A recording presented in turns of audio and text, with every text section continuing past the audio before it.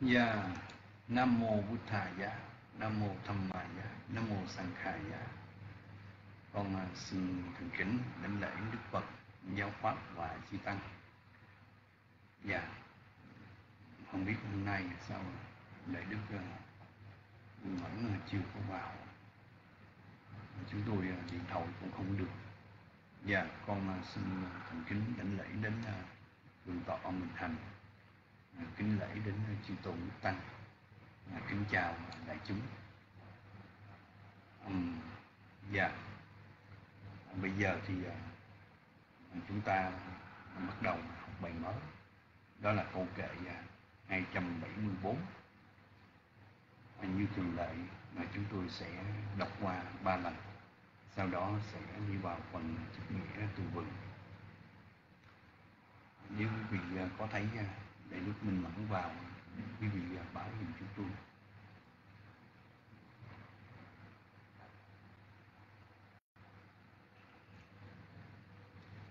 Eso quá mắt gồ tham nát thành nhồ Eso quá mắt gồ nát thành nhồ Eso quá mắt gồ nát thành nhồ Dasa Nasa Visuddhiya Dasa Nasa Visuddhiya Dasa Nasa Visuddhiya E tăng hít tùm hề Bát tí bách chá thác. E tăng hít tùm hề Bát tí bách chá thác. E tăng hít tùm hề Bát tí bách chá thác. Ma rát xê tăng ba mồ ha năng. Marase tăng bát mô ha năng. Marase tăng bát mô ha năng. À, Kính thưa quý vị Bài kể này à, à được bắt đầu bằng một cái à, đại từ Eso. Eso có nghĩa là này. Chúng ta phải à, ngầm hiểu là đạo lộ này. À, Eso có nghĩa là này. Quá à, ví như quá này là ý vá Ý vá Mắt gô Mắt gô Mắt gô là con đường hay là đạo lộ? Mắt gô Con đường hay là đạo lộ?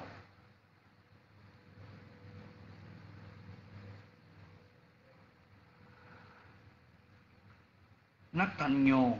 Nát thành nhô có nghĩa là Nát thí cộng với anh nhô. Nát thí cộng với anh nhô. Nát thí là không có, anh nhô là khác. Nát thân nhô không có khác. À, không có khác. Không có đạo lộ khác. Không có con đường khác.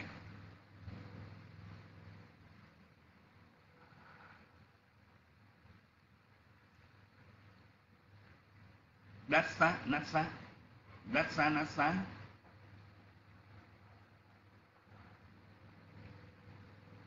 Nhận thức Dasa Nasa là nhận thức. Hay là thấy biết. Dasa Nasa là nhận thức hay là thấy biết. Visuddhiya Visuddhiya là thanh tịnh. Visuddhiya là thanh tịnh.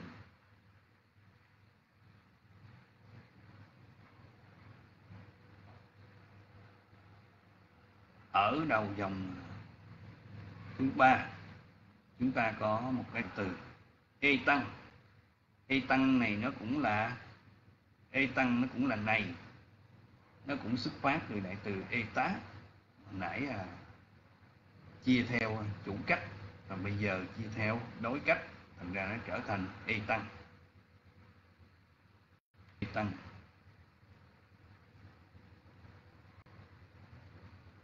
Hí có nghĩa là thật vậy. Hí có nghĩa là thật vậy. Tung hê tung hê là các ngươi. Nó xuất phát từ đại từ toan, do được chia theo chủ cách số nhiều, thành ra nó trở thành tung hê. Tung hê là các ngươi từng ngày mà các người. Bati Bachatha Bati Bachatha có nghĩa là hãy thực hành hay là nên đi theo. Hãy thực hành hay là nên đi theo. Đây là một cái tha động từ.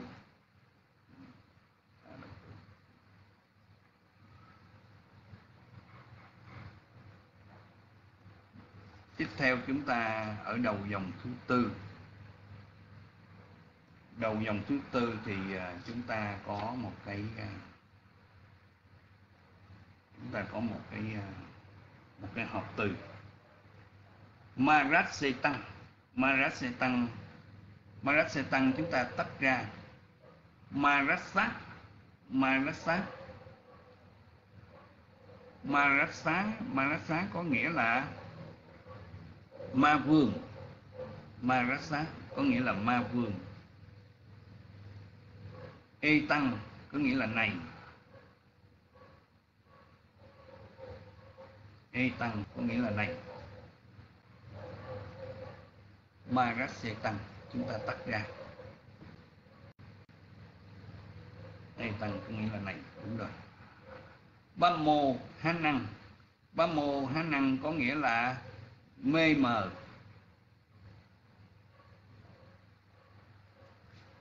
Rồi, vậy thì chúng ta đã lướt qua được phần từ vựng rồi.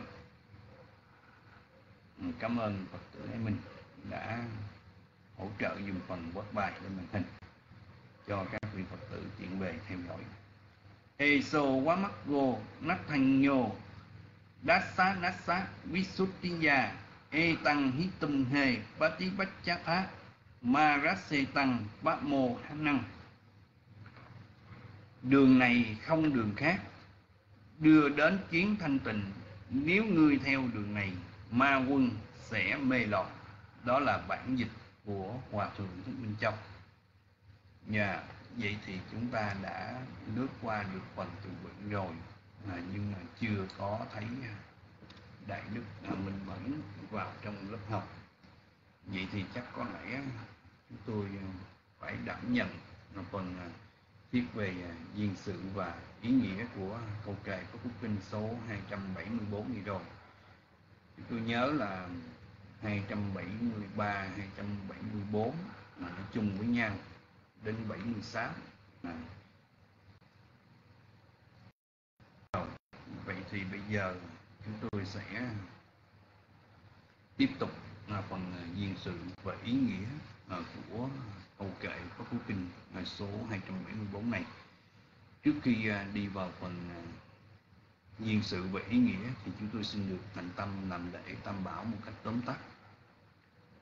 Arahang Samma Sambuddho Pagawa Bhutang Vavantang Apiwademi Swakato Pagawata Thammo Thammang Namasami Supatipanno Pagawato Sawaka Sangho Sangkhang Namami lô cát sát na thăng quá mút ta ma hằng bút thanh chát thầm manh chát bát nam ma mí sanh khăn đệ tử xin nghiêm tình, thân khẩu ý, tán dương ân đức của tam bảo, đức phật, giáo pháp và chư tăng. Phần phước phát sanh do sự tán dương ân đức tam bảo một cách tóm tắt, xin thành kính dâng đến chư tôn đức tăng và xin chia điều phước này đến quý cô tu nữ cùng các vị thiện nam tín nữ. Cầu nguyện hồng ân của tam bảo luôn gia hộ quý vị thân tâm thường được an lạc. Nam mô bút tha giá. À, kính thưa quý vị à, câu kệ này à, cũng nằm ở trong duyên sự. À, nó trùng với 273 là vừa rồi chúng ta học. Thì chúng tôi cũng nhắc lại là chúng tôi cũng nhắc lại cái duyên sự này. Cái câu kệ pháp quốc kinh này đó là Đức Phật à, thuyết ra tại à, Chê Tá Quá Ná đề cập đến 500 vị tỷ khu thì à, 500 vị tỷ khu này đó là sau một lần à, đi à, phân du à, theo Đức Phật ở à, khắp xứ à, Ấn Độ rồi à, trở về à, thành à, Thi. Lúc đó các vị tỷ khu mới ngồi bàn đàm luận à, với nhau ở trong à, trong ờ, đường ừ, ừ, ở trong một cái một cái chai đường là một cái chai đường một cái hội trường đó. Nhà rồi à, các vị tỳ khu bàn với nhau là à, cái những cái con đường mình đi qua có con đường này nó như thế này con đường kia nó như thế nọ vân vân. Đó thì khi mà các vị tỳ khu bàn như vậy đó à, thì à, lúc đó đó à, đức phật ngài đã quán xét ngài thấy duyên lành đắc a la hán à, của à, các vị tỷ kheo này. Thành ra lúc đó đức phật ngài đã à, ngự đến à, ngài đã ngự đến. Thì thường thường mà chư tăng ngồi bàn tán câu hỏi với nhau gì đó thì cũng đều chừa ra một cái chỗ để dành sẵn à, cho đức phật à, ngự đến đó. Thì lúc đó đức phật ngài đã ngự lên cái chỗ đó chỗ để sẵn đó như vậy đó. À, ngài mới hỏi các vị tỳ kheo à, bàn cái gì vậy? Thì các vị tỷ kheo mới à, bạch đức thế tôn là con à, kể lại cái cái cái con đường đó như vậy à, con đường kia như vậy vân vân. Đó thì lúc đó, đó đức phật đó mới à, dạy cho các vị tỳ khu à, đó chỉ là những cái con đường ở bên ngoài những cái con đường đó nó à, không có cần à, không có cần phải à, bàn đến. Nếu mà có bàn á, à, thì phải bàn đến à, những cái con đường mà bậc thánh nhân à, đã đi à, những cái con đường bậc thánh nhân đã đi qua rồi. Đó vì sao? À, vì cái con đường đó đó à, mới à, giải thoát được à, tất cả những cái khổ đau. Đó sau khi đức phật à, nói cho các vị tỳ kheo nghe rồi à, thuyết rồi à, đức phật à, mới à, thuyết lên à, cái cái câu kệ này. Chỉ đường này độc nhất khiến tri kiến thanh tịnh. Nếu ngươi theo đường này ma quân là sẽ mê lòng. Đó vậy thì à, ở đây đó là chúng ta thấy cái con đường độc nhất là chúng ta cái con đường độc nhất này đó là con đường gì quý vị?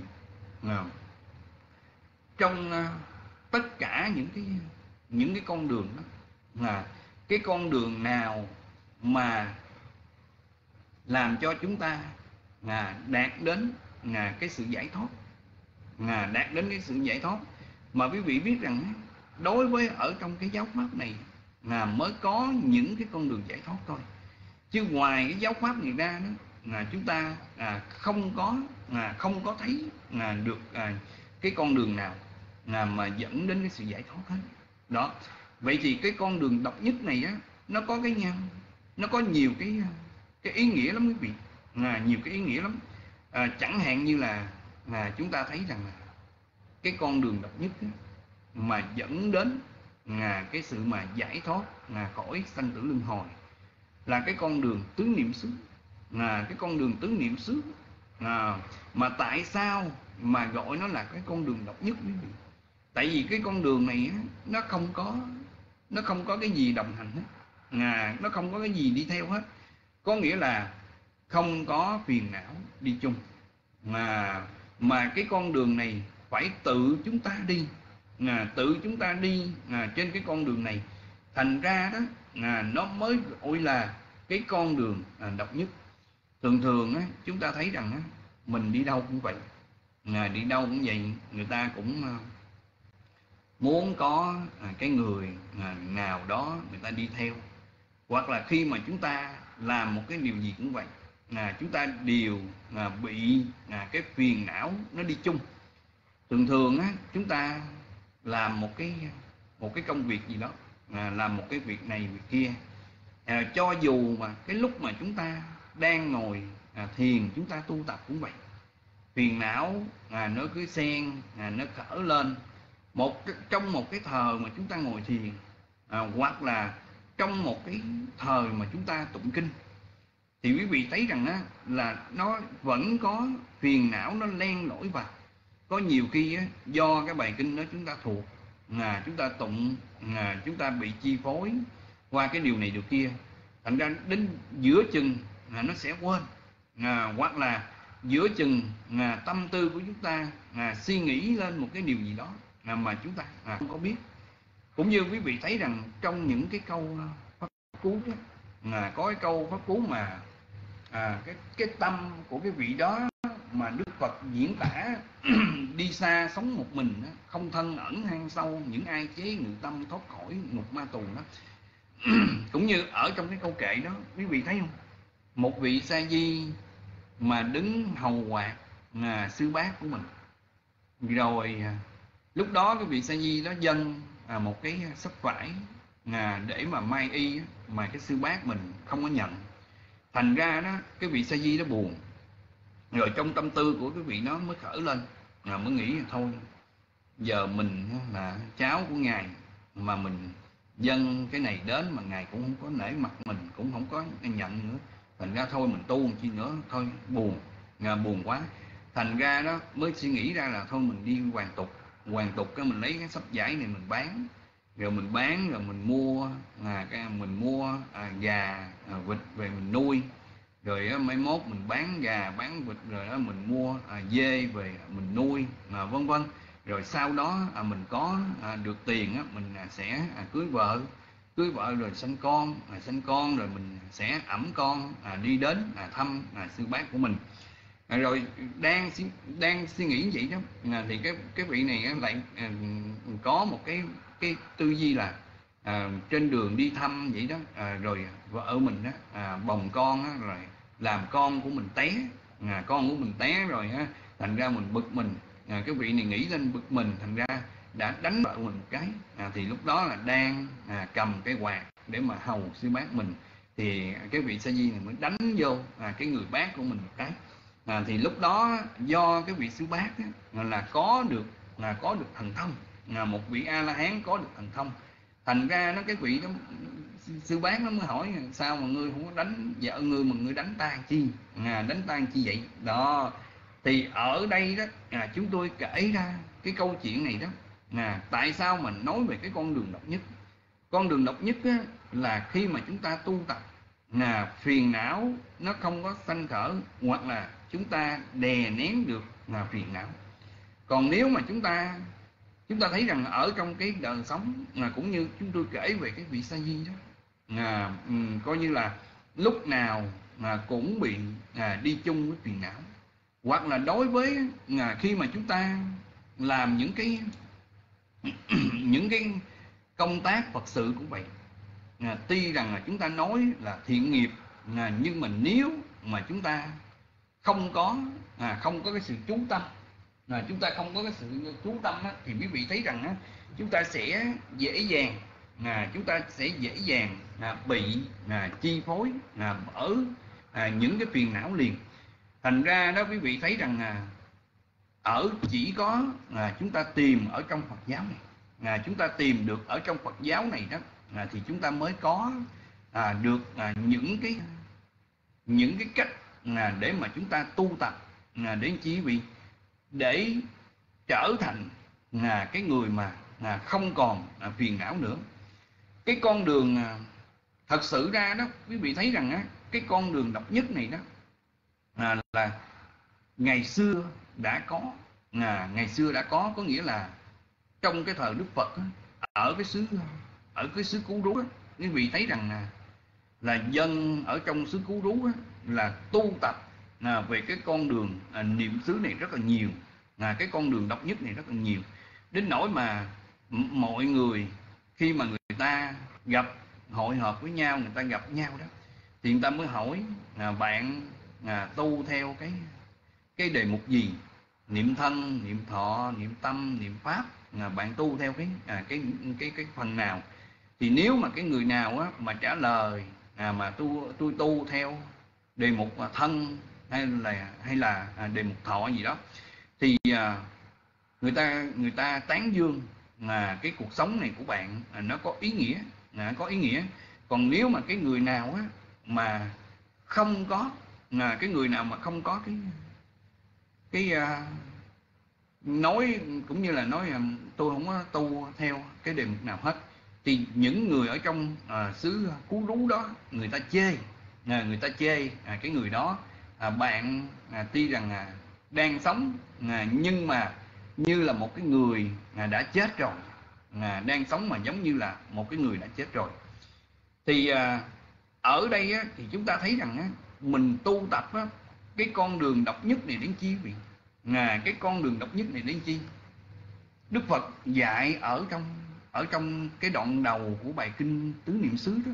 Là Đức Phật dạy là chỉ có cái con đường độc nhất này để tịnh hóa các chúng sinh vượt qua sầu bi à, đoạn tận khổ u đạt đến chánh đạo và chứng đắc à, niết bàn. Đó chỉ có cái đó là cái con đường độc nhất là mình tu tập à, về tứ niệm xứ. Để tịnh hóa các chúng sanh á, có nghĩa là gì quý vị để làm cho à, tâm của các chúng sinh hồi trước giờ à, vốn bị à, những cái ô nhiễm à, của cái gì? Của những cái cấu quế nè tham nè sân nè. Đó thì cái con đường tứ niệm xứ này á mình tu tập mình mình tìm những cái đề mục mà nào mà thích hợp với mình. À, thì mình tu tập. Thì để cho à, nó làm à, cho những cái phiền não của mình à, nó được đoạn trừ à, nó được làm à, sạch sẽ. Thành ra đó à, ở trong cái cái đoạn đầu mà đức phật thuyết, ngài ngài đã nói là tịnh quá các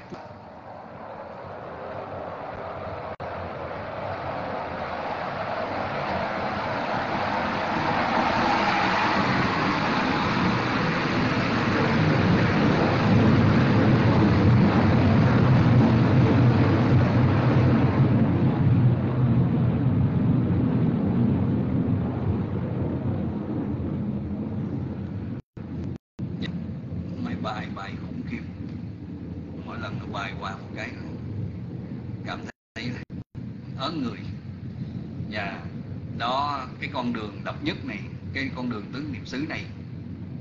Thứ nhất á, là sẽ tịnh hóa được các chúng sinh. Đó. Còn thứ hai á, là vượt qua sầu bi.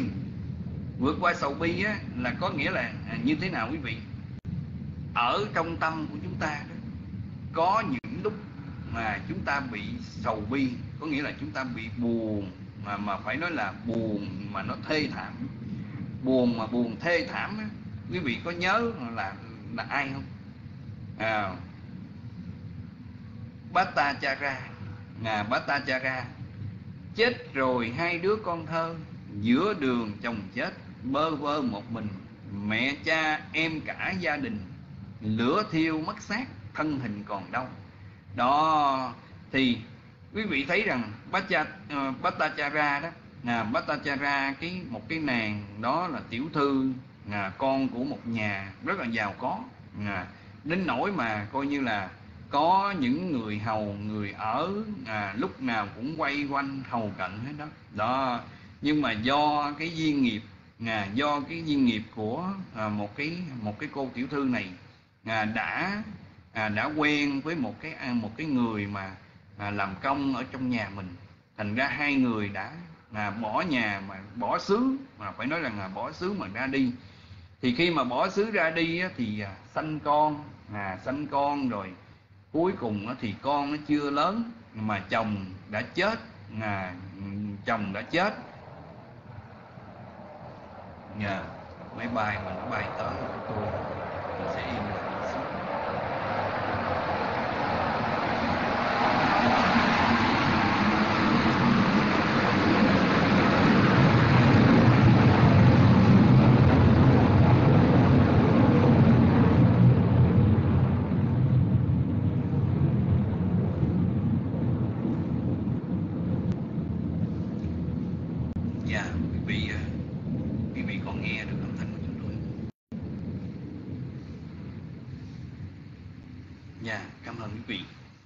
thì trở lại với cái câu chuyện à, Bhattacharya đó, thì à, quý vị thấy rằng á, lúc đó chồng chết rồi đến con chết rồi muốn về nhà nương tựa à, cha và mẹ của mình. Nhưng mà coi như là lúc đó, đó à, khi mà trở về đến nhà rồi đó thì hay tin là cha và mẹ và em trai của mình à, cũng đã à, cũng đã chết. À, do hôm qua bị cái trận mưa bão sập nhà mà chết thì lúc đó quý vị thấy rằng là coi như là không còn được bình tĩnh. Ngà trở thành điên loạn rồi ngà trở thành điên loạn. Rồi khi mà đi à, chạy tới chạy lui ở ngoài đường phố gì đó rồi được người ta chỉ à, người ta chỉ là à, đi đến cái pháp hội của đức thế tôn. Thì khi mà đi đến đức phật á, thì quý vị thấy rằng á, đức phật á, ngài dùng à, thần thông của ngài. À, ngài dùng thần thông của ngài ngày mới chỉ à, ngài mới nói cô hãy trở lại tâm của mình. À, cô lại hãy trở lại tâm của mình. Thì lúc đó quý vị thấy rằng á, à, Bhattacharya đã ngồi xuống à, quỳ mọp xuống à, dưới à, mặt à, dưới chân của à, đức phật. Và lúc đó thì cô ta do bị điên loạn tâm tư à, trên người không còn một mảnh vải che thân. Rồi à, một cái người thiện nam người ta mới à, thảy cho một cái miếng vải tròn à, cô ta tròn lại rồi à, đức phật đã thuyết giảng cho cô biết à, là đối với cái nước mắt à, mà cô khóc à, cho cha cho mẹ cho chồng cho anh cho em cái nước mắt này nó đã nhiều hơn à, nước ở trong bốn biển. À, thì khi mà đức phật à, thuyết cho cô nghe như vậy đó thì lúc đó cô đắc được đạo quả tu đạo quần liền. À, đắc được đạo quả tu đạo quần liền. Thành ra đó mới nói rằng là ở trong à, tu tập à, cái con đường này à, tu tập ở trong cái giáo pháp này thì mới vượt khỏi à, sầu bi. À, vượt khỏi sầu bi. Cũng như là là cái câu chuyện của của một cái vị mà tể tướng tên Santa Tí cũng vậy quý vị. Đó thì sau khi mà dẹp loạn ở biên giới về rồi đó à, được nhà vua thưởng cho à, bằng cái cách là 7 ngày được làm vua. Như được hưởng một cô mỹ nữ à, một cô kiều nữ à, xinh đẹp đàng hoàng nhưng mà chưa có à, chưa có hưởng được cái gì hết. À, mới có chuẩn bị thôi. À, mới có chuẩn bị thôi thì coi như là cô kỹ nữ đó là cái người kiều nữ đó à, đã chết. À, đã chết. Thành ra đó thừa tướng sanh tá tí đó, đã sầu bi coi như là giống như ở trong kinh mà mô tả lại đó, giống như là trời đất bị sập vậy đó. Trời đất giống như là trời đất bị sập vậy đó à, ông ta rất là sầu.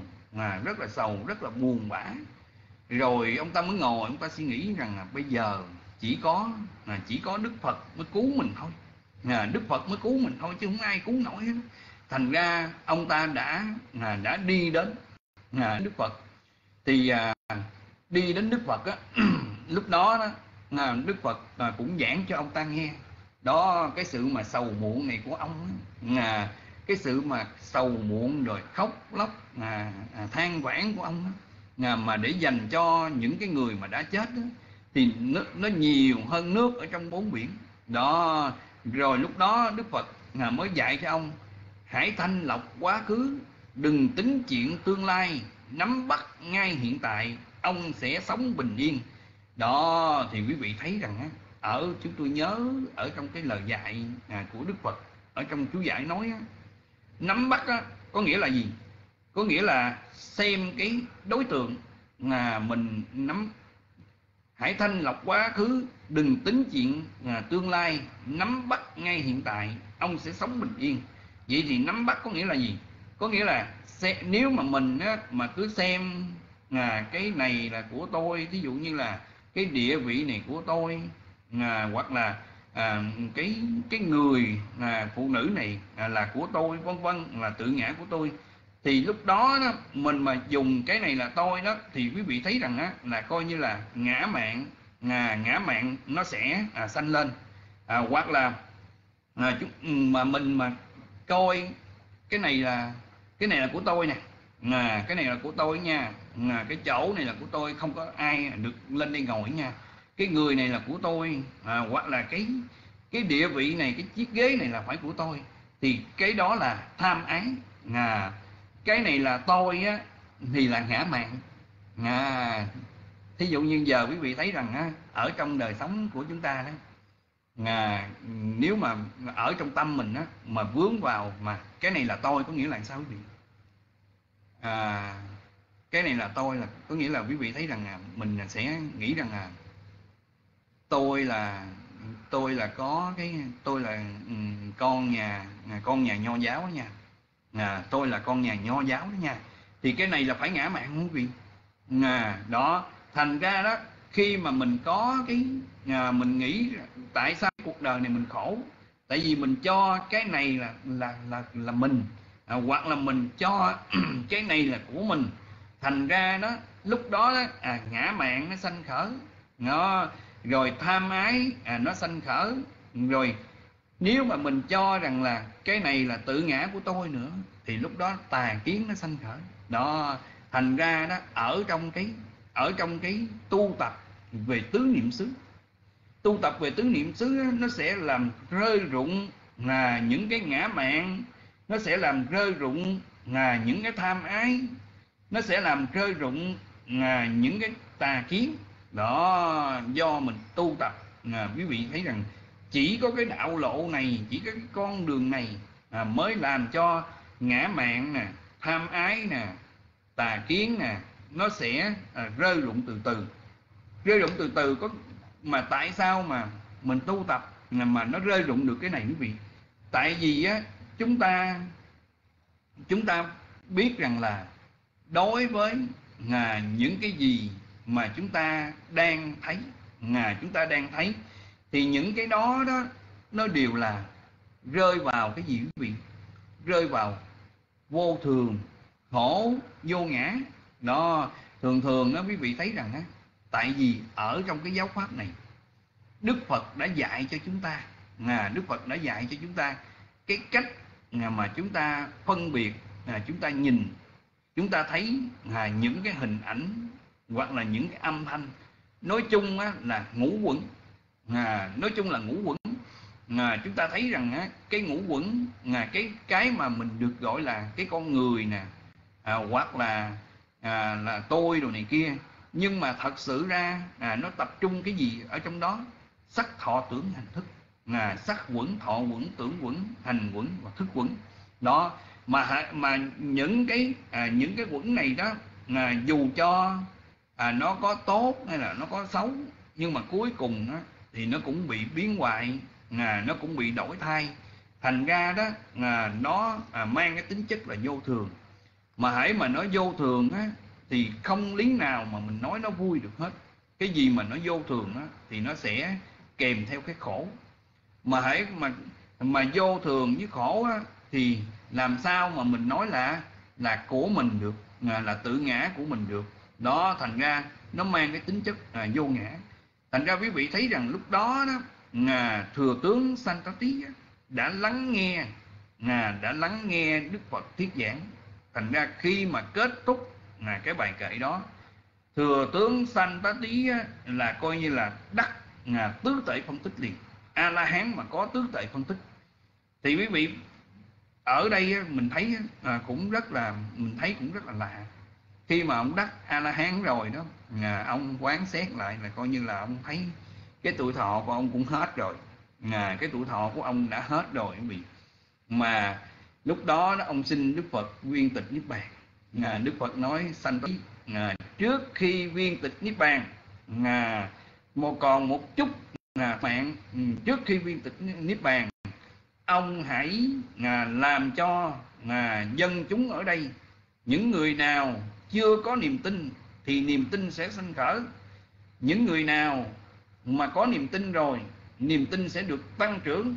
À, thì lúc đó đó à, ông mới à, nghe đức phật nói như vậy. À, rồi đức phật mới nói tiếp. À, ông kể cho à, hội chúng nghe do ông làm cái gì mà giờ đây trong tích tắc mà ông đã đắc được a la hán tứ tuệ phân tích lúc đó quý vị biết là sanh tá tí thừa tướng sanh tá tí mà một vị tướng mà là vừa nghe đức phật mà kêu như vậy là ông coi như là ông bay lên hư không mà rồi bắt đầu dập đầu xuống đất để mà đánh lễ đức thế tôn bậc thầy của con. Đó làm như vậy xong ba lần à, làm như vậy xong ba lần rồi. Lúc đó đó ông làm theo lời của đức phật dạy ngồi trên giữa hư không à, ngồi trên giữa hư không như vậy là kể lại ở trong quá khứ. Cái cuộc đời ông ở trong quá khứ ông ông làm gì quý vị không? Ông cứ đi thông báo với mọi người. À, đức phật xuất hiện rồi giáo pháp xuất hiện rồi tăng chúng xuất hiện rồi. À, lo đi đến để mà đảnh lễ đức phật nghe lời thuyết giảng rồi đảnh lễ tăng chúng à, của ngài. Mà ông cứ đi rao như vậy đó. À, ông đi rao như vậy suốt cái cuộc đời ông đến nỗi mà quý vị biết đức vua là mới đầu là tặng cho thấy ông đi bộ ông ra ông vậy. À, tặng cho ông một con ngựa. Rồi một năm sau mấy năm sau gặp lại cũng gặp ông cỡ ngựa ông đi rao như vậy nữa. Thành ra đó ông vua ông nói nếu mà khanh mà đi à, đi cũng như là đi thuyết giảng đi cũng như là đi thông báo à, trên thế gian này có đức phật giáo pháp à, chư tăng xuất hiện là mà ông đi mà một con ngựa gì là không có vừa lòng. À, thành ra đức vua là coi như là tặng một chiếc xe bốn con ngựa luôn. À, tặng một chiếc xe bốn con ngựa luôn. Rồi khi mà mấy năm sau đức vua gặp lại nữa cũng còn đi nữa đức vua nó bây giờ tặng cho một con voi luôn. À, một con voi coi như là tráng. À, một con voi hoành tráng quý vị. Thành ra ông chỉ có đi à, đi làm như vậy đó. À, đi làm như vậy. Mà quý vị thấy rằng là do cái công đức đó à, mà bây giờ ông cuối đời của ông à, ông nghe được đức phật thuyết pháp à, để mà chứng đắc được đạo quả a la hán à, tứ tại phân tích. Thành ra đó chúng tôi nói thật sự ra đó khi mà quý vị mà tạo phước là nó bằng nhiều cách lắm quý vị. Ngày xưa thì người ta đi đến người ta à, người ta đi thông báo người ta rao. Còn bây giờ quý vị à, quý vị à, mời mọi người à, vào à, nghe pháp hoặc là quý vị à, rủ mọi người à, bây giờ chúng ta cùng chung nhau à, để mà lễ bái tam bảo. Lễ bái tam bảo có nghĩa là gì? À, chúng ta tán dương ân đức tam bảo.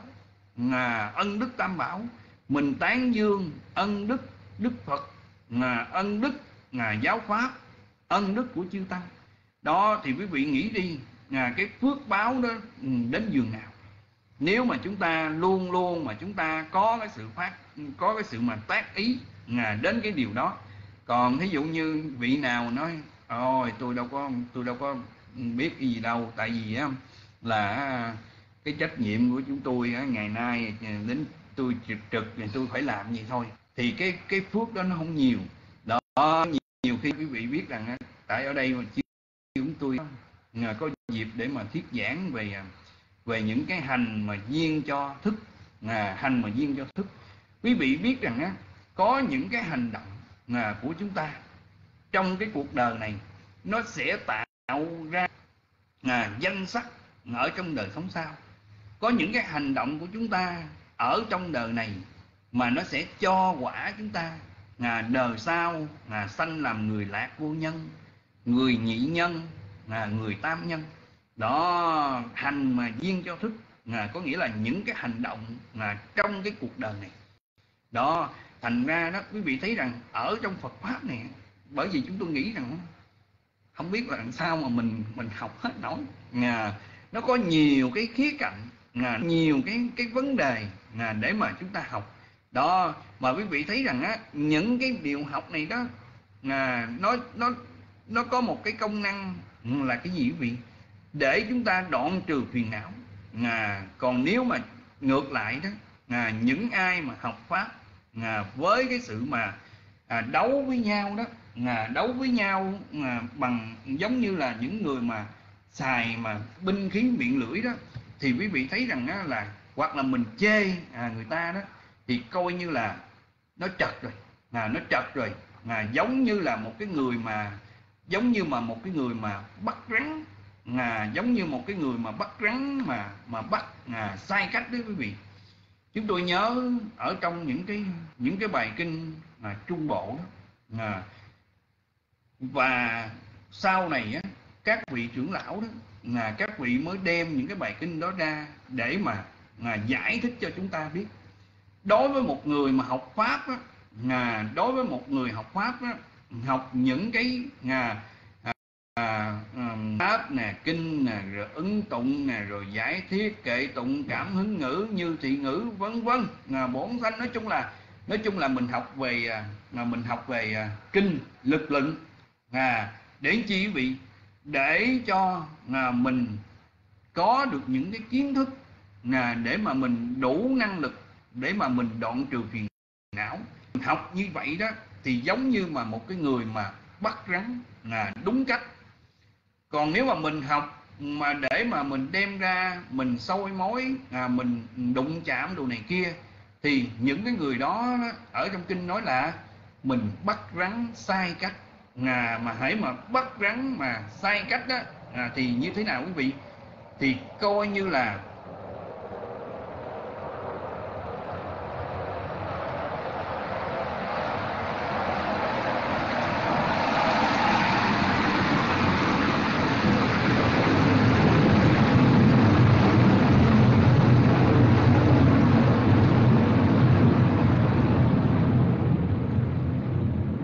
quý vị nghe tiếng quý vị nghe tiếng máy bay nó bay khủng khiếp không dạ nó, nó bay ớn thiệt không biết nó bay ghét ghê dạ, ghét dễ sợ ghét ghét chứ không có làm gì được bởi vậy quý vị thấy không đâu có đi theo cái con đường độc nhất được quý vị. Lúc nào phiền não nó cũng nó cũng len lẻn vô hết đó. Đó trở lại với vấn đề mà chúng tôi đang nói là cái người mà bắt rắn sai cách á, thì bị rắn nó cắn mà rắn nó cắn đâu có chết liền quý vị. Rắn nó cắn á, là coi như là nó đau khổ. Là nó phải nói là nó đau nhất nó đau khổ. Thì cái người mà học Phật đó mà sai cách đó, có nghĩa là đem ra để mà đấu chiến biện luận đồ này kia đó thì coi như là lúc đó nó sẽ bị đau khổ. Nó không bao giờ an vui. Quý vị biết hồi trước chúng tôi nhớ nhớ khi mà mới vừa học mà mình mới vừa biết Phật pháp đó,